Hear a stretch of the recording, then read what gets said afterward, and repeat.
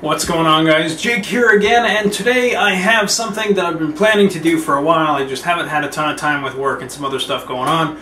So today we actually are going to do some Windows 7 versus Windows 10 gaming performance. And of course if you guys have upgraded from 7 or 8 or 8.1 to 10 and you're a gamer you might notice some differences between DirectX 11 and DirectX 12 with the Windows 10 release. Now Today, of course, behind me you guys can see the typical standard build that I have. Some of you guys may recognize it, some of you may not. Uh, the build is an i7 4790K with two EVGA GTX 970s hooked up in SLI. A very standard build nowadays, not exactly for just a strict 1080p gamer. Of course, Zeus is going to be joining us today in this video like he always does.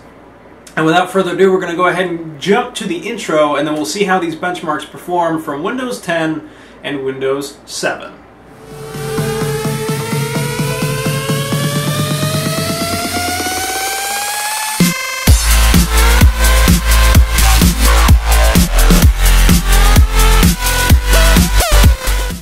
Alrighty guys, so the first benchmark I decided to start with, of course, is going to be Crysis 3. Now, here we are, and we do have it at 1080, of course. SMAA is low, the texture resolution is high, and we have it on a custom system spec right now, VSync off, of course. All of the advanced settings are very high, anisotropic filtering is 16x, motion blur is off, and lens flares is, of course, on.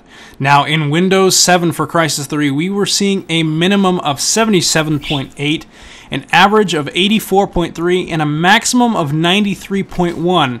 Now, here's the kicker. As you guys can see in the bottom left corner of this footage, we have an FPS counter, and this is Windows 10.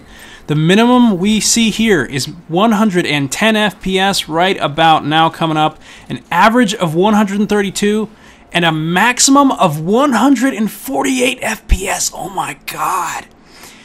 Wow, and we'll go ahead and go into The Witcher 3. Now, for Windows 7, we got a minimum of 65.0. The Witcher 3 wasn't very well optimized for quite a while.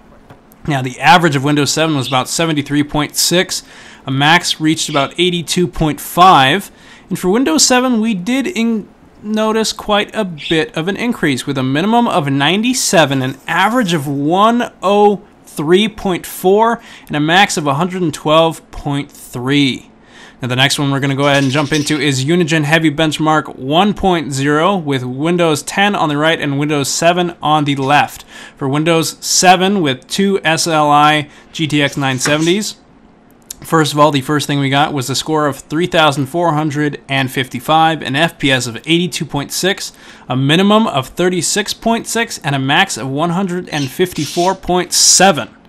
Now, with Windows 10, we see quite a big increase with an FPS of 123.4, a score of 5,163, a minimum FPS of 37.2, which the minimum always seems to be very low, and a max of 181.6. So there's definitely a notable difference. Even if it only recognizes it as Windows 8 with DirectX 11, there's still quite a noticeable difference there between Heaven on Windows 7 and Windows 10. We do have both GPUs open here.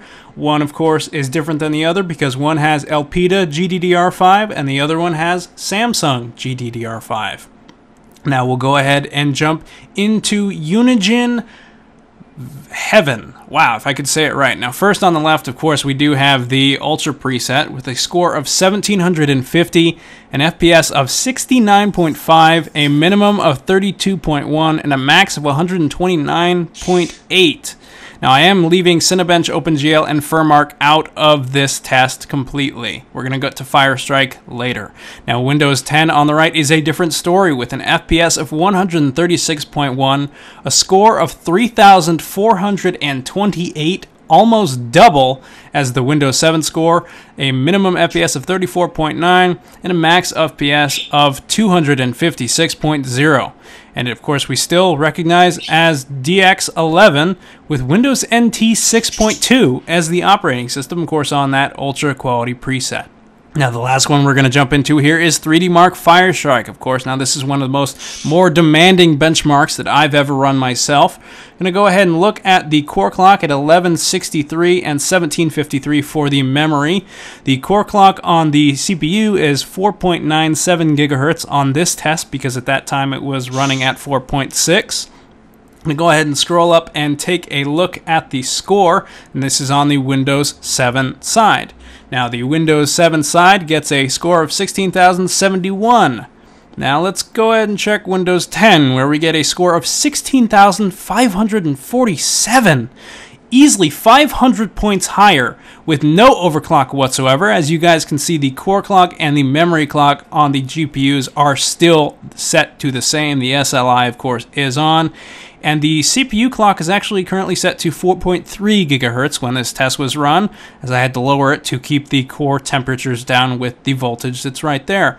And if we do, do look down at the operating system, you guys can see that it is 64-bit Windows 10, recognized just perfectly, and this is a very valid result, and I will include a link in the description down below. Alrighty guys, so that pretty much concludes my Windows 7 versus Windows 10 gaming performance video. Uh, give it a thumbs up if you liked it. By the end of this week, I'm actually going to have a video on what I personally think of Windows 10. And I really like it. It's very futuristic. It does come with a lot of bloatware, so that's something you'll have to remove down the road as soon as you install it.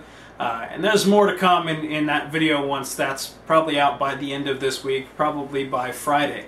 So that's going to include a bunch of stuff on what I really think of it. If you guys are looking to upgrade from 7 or 8 or 8.1, of course it is a free upgrade courtesy of Microsoft. And Microsoft does have some stuff to work out. There are some bugs that I've found, and those will be in that video once you guys see that at the end of the week. And that's pretty much it for this video. So once again, give it a thumbs up if you liked it. I do have some news. I am with Scalab, Scale Lab and Network now, so we're going to go ahead and do some channel optimization tips with that. We just reached 4,800 subscribers, so we are 200 away from another giveaway.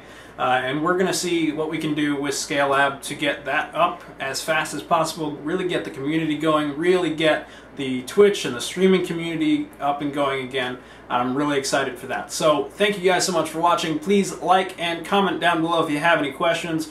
I will have some links in the description to the benchmarks as well as a couple little things just for your pleasure and enjoyment on the channel. So again, thank you guys so much for watching and subscribe. Don't forget to, if you have not already, if you're just running across this video just because you want to see if there's any difference. If you are a Windows 7 gamer or Windows 8 or 8.1 gamer, I don't really know how the Windows 8.8.1 works entirely well, but if you guys are a gamer and you're looking to upgrade to Windows 10 to get the best performance out of DirectX 12 and your machine, that you possibly can. I will include a link down in the description from Microsoft website to download Windows 10. So thank you guys for watching, and I will see you guys at the end of the week. See you next time.